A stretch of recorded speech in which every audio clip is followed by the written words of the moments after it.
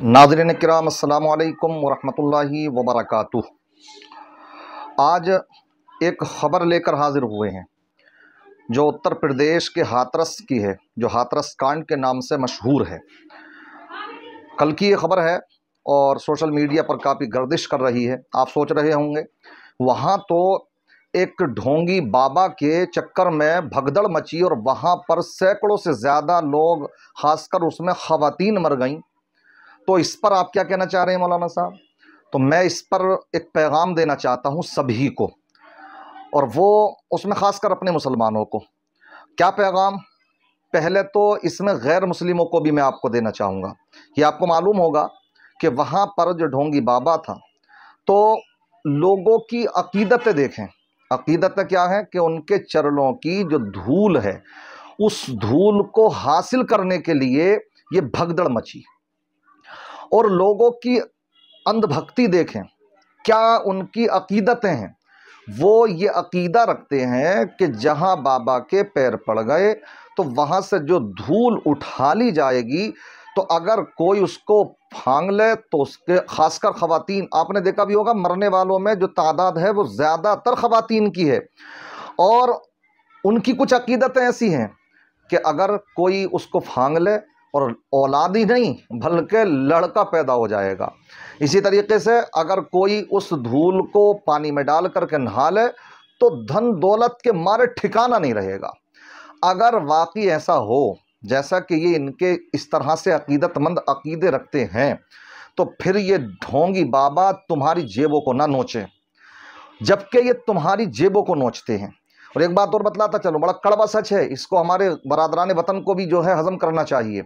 वो ये कि इसमें जो बिजनेसमैन लोग हैं, जो कारोबारी लोग हैं, जो जॉब करने वाले लोग हैं, जो पैसे वाले लोग हैं, वो नहीं मिलेंगे आपको।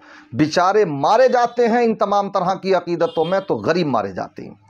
गरीबों को ही ये अपने जाल में फंसाते हैं। गरीब सोचता किस तरीके से मैं बग़ैर कुछ किए अमीर बन जाऊँ, शायद ऐसा कुछ हो जाए, जबकि ऐसा कुछ होने वाला है नहीं। इसलिए इसके ज़िम्मेदार असल माना में ये ढोंगी बाबा है, कार्रवाई चल रही होंगी, मुतालबात भी हो रहे हैं, सियासतें भी हो रही हैं उस पर, वो वो जाने। यहाँ मैं अपनी कौम को अब ये पैगाम देना चाहता हूँ, मैं इसलिए इस बात को बयान कर रहा हूँ कि हमारे मुसलमानों के यहाँ पर भी हालात बड़े बदतर हैं, कि ऐसे ऐसे लोग जिन्हें दीन के नाम पर शायद अलिफ भी मालूम ना हो। हाँ सही कह रहा हूँ मैं। अलिफ भी मालूम नहीं होगा। और न हुलिये से उनके ये आप पहचान सकते हैं कि कोई मुसलमान भी चेहरा है ये। और कौम उनको पीर माने हुए है। उनको क्या नहीं समझ रही है? भीड़ है एक इज्तिहा में, कसीर है उनके पीछे। ये चल रहा है मामला। एक साहब बड़े दानश्वर हैं, उन वो आजकल सोशल मीडिया पर चल रहा है ना इस तरह का मामला। बहुत से अहबाब अपने सवाल करने के लिए निकल पड़ते हैं। हमारे मारूफ भाई ने भी इस तरह से सवाल किए, सिलसिला शुरू किया था। तो ऐसे एक साहब पहुँच गए इस तरह के हमारे जो ढोंगी पीर हैं उनके पास। तो वहाँ पर जब उनसे पूछा जा करके तो कि वज़ू के फ़र्ज़ बता दें, गसल के फ़र्ज़ बता दें तो कैसी उनकी सिट्टी पिट्टी गुम हो रही हैगी? किस तरह से? उनको न वज़ू के फ़राइज़ मालूम, न गसल के फ़राइज़ मालूम, न कलमा मालूम समझ रहे हैं? किसकी उम्मत में है? न ये मालूम। समझ रहे हैं? क्या हालात हुए हैं? तो कौम के मामला बड़े ख़राब होते जा रहे हैं। जी जी। देवा से मतलब देवा से आप आए हैं? हाँ देवा के से। तो हम आपसे मतलब गुसल का फराइज पूछना चाहते हैं। गुसल का फराइज पूछना चाहते हैं। गुसल का जी। कितने फराइज हैं? ये तो कोई मैं ऐसा कुछ नहीं है। इस्लाम का दर्जा ऊँचा है। सरकार आलमपना का कहना है सिर्फ़ गुसल का फराइज आप बताइए गुसल का फराइज अरे गुसल का फराज का ईमान दुरुस्त रखते हैं तो ईमान दुरुस्त रखना वज़ू का वज़ू का फराज पता है। वज़ू वज़ू का भी वज़ू भी करना है ईमान से ईमान है तो वज़ू भी है।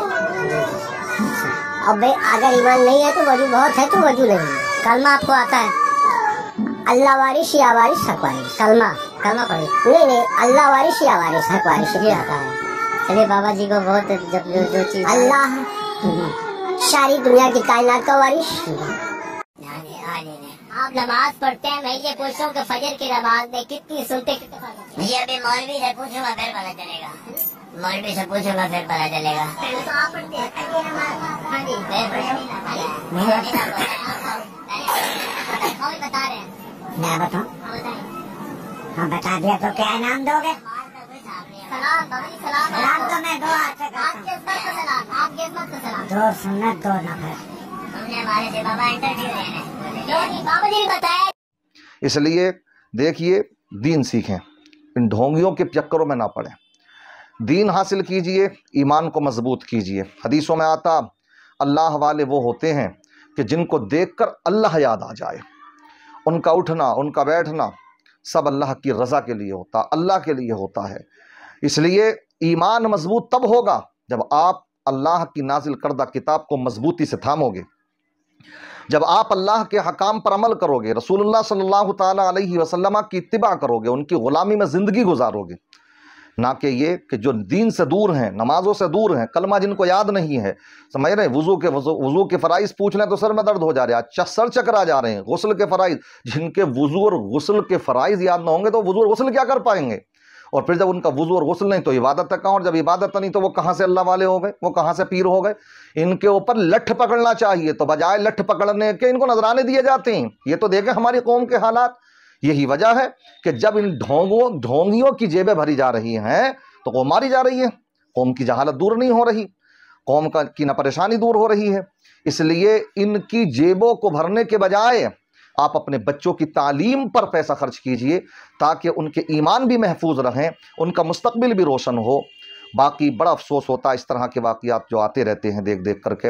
अल्लाह रहम फरमाए, हमारे मुल्क में अमन सुकून कायम फरमाए। अस्सलाम वालेकुम वरहमतुल्लाहि वबरकातुहू